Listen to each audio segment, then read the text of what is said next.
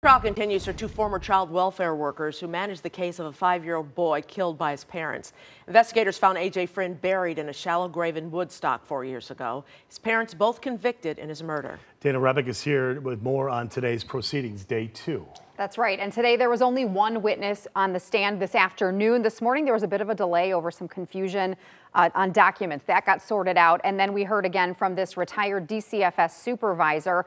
Under cross-examination, defense attorneys stressed that there is nothing outlined in DCFS procedures that a violation of a required investigative step results in criminal charges. These former employees were both fired, but the state feels their lack of due diligence and follow through had a direct result in AJ Freund's murder at the hands of his parents.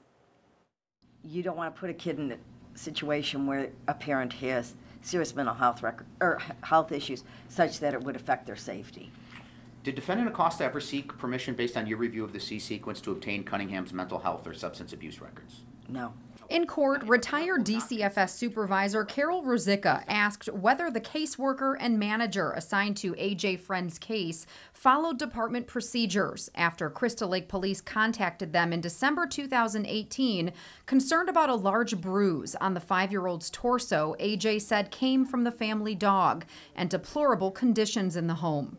Based on your experience, does this look like these injuries were caused by a dog, quote, putting his paw on a child? Uh, no. He doesn't he doesn't explore anything with the child. It's very, in my opinion, superficial. He's not utilizing any of his clinical skills or investigative skills. Ruzicka speaking about DCFS investigator Carlos Acosta, who later the same day released AJ back into his mother's custody as long as she took him to a doctor to have the bruise evaluated. He told that doctor it came from a belt and that, quote, maybe mommy didn't mean to hurt me. That doctor said she wasn't an expert in child abuse and that the child should be forensically examined by another provider. That never happened. Ruzicka read aloud a text message Acosta sent to his supervisor, Andrew Polovin, that day. Kid said, big dog, put his paw on me. I take that to mean a scratch. And then at 11:35, he gets a reply from defendant Polovin saying, that looks nasty, but if that's what the kid says.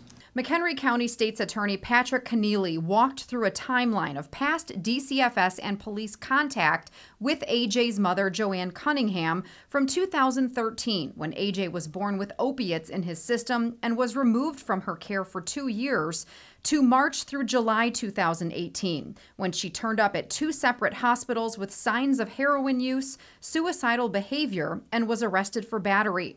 The state says the DCFS caseworkers didn't request or view any of those records for Cunningham, Andrew Freund, the boy's father, nor Daniel Nowicki, her boyfriend who was living in the home at the time. They also did not require a drug test for any of them, a second opinion about the bruise, and closed the case unfounded for abuse.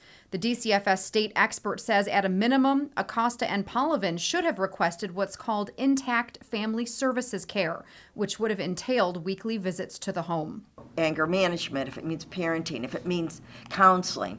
Um, in Ms. Cunningham's case, uh, I'm, with the mental health issues and stuff, there's many probably professionals that would have been involved. In your opinion, with the services that you've discussed, would that have been sufficient to prevent ongoing abuse of AJ into 2019? I believe so.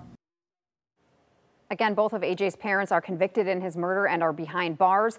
Acosta and Polovin are each charged with child endangerment and reckless conduct and could face up to five years in prison if convicted.